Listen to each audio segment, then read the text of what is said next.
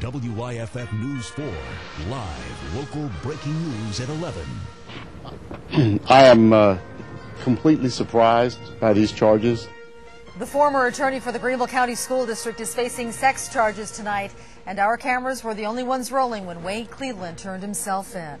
Cleveland is accused of having child porn on two different computers. WYFF News 4 was the first to break this story on the air and on the web today, WYFF4.com. And tonight we begin our live local breaking news with News 4's Mandy Gaither. She is live at the Greenville County Law Enforcement Center tonight. Mandy, good evening. Well, good evening. This is a stack of warrants that Wade Cleveland was served with earlier today. It was about 545 when he turned himself in here at the Law Enforcement Center, and we were the only ones that talked to him beforehand. Is there anything you'd like to say at all? I am uh, completely surprised by these charges. I've never had any intention to do anything illegal. I'm totally unaware that I have done anything illegal. I've uh, cooperated fully with law enforcement for the last month, and uh, I'm innocent of any wrongdoing. Can you explain why deputies say they found child porn on your computer? I've said what I have to say. That's what former Greenville County School Board attorney and former county councilman Wade Cleveland had to say in the minutes before he turned himself into deputies. Facing 14 different charges of sexual exploitation of a minor, deputies say they found pictures and videos of underage boys engaged in sexual activity on Cleveland's work computer.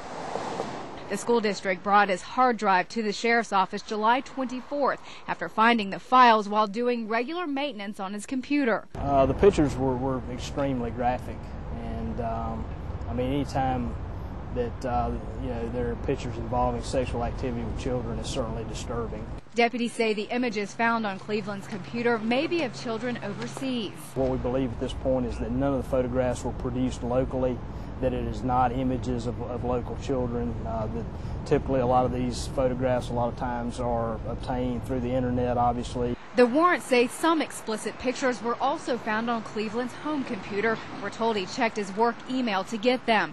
Deputies say they can't rule out more charges being filed, but for now, Cleveland is a free man after posting a $140,000 bail.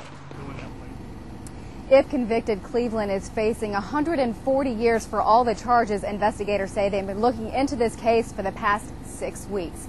Carol. Mandy, thank you. The Greenville County School District issued this response to Cleveland's arrest. Quote, we are deeply troubled by the charges filed against our former legal counsel and want to assure parents and others in the community that through discussions with the Sheriff's Department, there is absolutely no reason to believe that this matter involved any of our students. Since this is a law enforcement matter, it would be inappropriate to comment further, end quote. Uh, Wade Cleveland has been a leader in the Greenville community for the last two decades. Many of you know that. So many people knew him, and tonight, many people are shocked. News 4's Nigel Robertson has been working the story for weeks, and he joins us now with some of the reaction. Nigel? Uh, Michael, this afternoon, my phone has been ringing off the hook from people shocked by today's news. I'll be honest with you, many people did not want to go on camera because they say they are still in shock. Wade Cleveland helped to shape Greenville County as we know it today. He was on council for 11 years, twice elected as county council chairman. He also worked as an attorney for the Greenville County School District for 22 years. That is why seeing him today like this, charged with 14 counts of sexual exploitation of a minor, has his friends, his coworkers, and those who knew him practically speechless.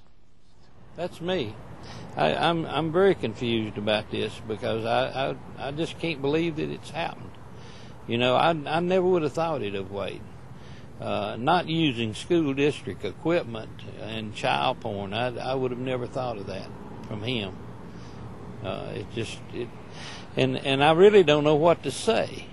You know, I, I've I've tried to I've, I've labored with what what you know what to say to you about this, and I, I really am confused about the whole thing.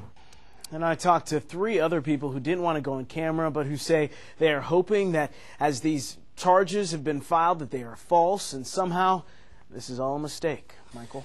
Nigel, thank you. A reminder again Wade Cleveland was the attorney for the Greenville County School District for 22 years. He resigned that position a few weeks ago. Cleveland also served on the Greenville County Council for 11 years, represented District 24. That's the Augusta Road Parkins Mill area. He was elected County Council Chairman twice, served from 1993 to 1996.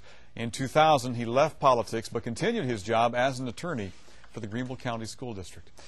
This reminder as well, stay up to date on this story by going to our website, WYFF4.com. Around the clock there, you will find the very latest updates. You can also watch Mandy Gaither's exclusive interview with Wade Cleveland as he turned himself into deputies today. It's all there on WYFF4.com.